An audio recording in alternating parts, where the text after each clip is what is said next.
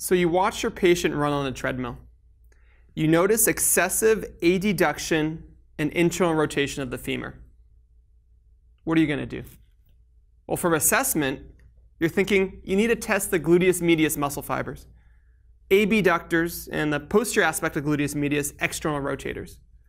So our classic manual muscle test will be with the patient lying sideline on the table. You can expose the lumbar region so you can see any compensations, especially from quadratus lumborum.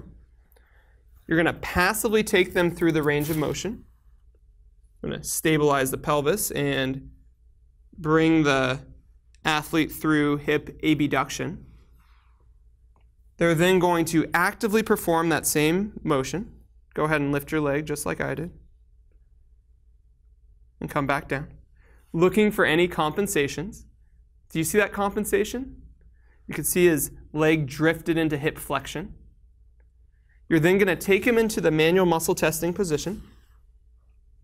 I'm going to palpate gluteus medius with my thumb, quadratus lumborum with my ring finger, and tensor fascia lata with my pointer finger.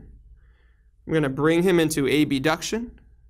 I'm going to make sure that he maintains stabilization through his upper extremities. So we make sure that his hand stays flush against the table to prevent any lumbopelvic motion.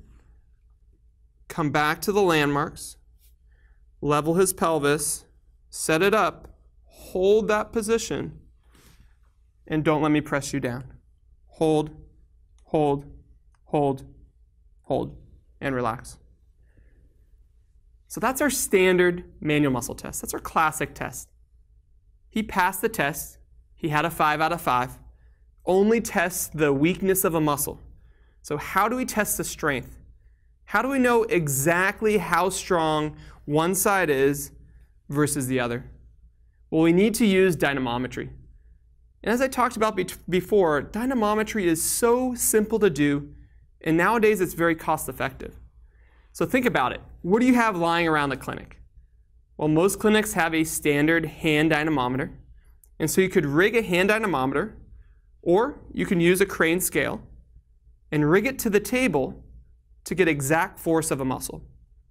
So you can see here that we have on the plinth, we have a lashing strap, or you can use a mobilization belt.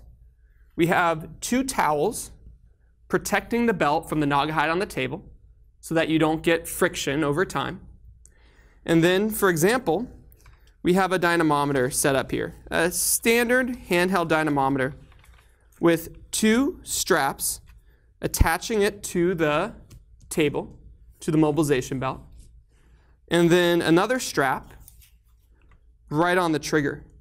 So you can imagine what happens with this when the patient presses their leg up into abduction and the dynamometer is turned on you have the stable base, and then their leg is actually triggering the dynamometer.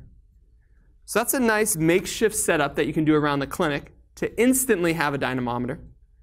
But another way, for about $50 or very inexpensive, if you get a crane scale, you could set this up, attach it to the mobilization belt on the table, and attach another end so you have a strap and you can also get an exact reading when the patient goes into abduction. So we're going to set this up right now. I'm going to turn on the crane scale. And then I'm going to hit the hold button. And that's going to allow me to hold in that value of the manual muscle test.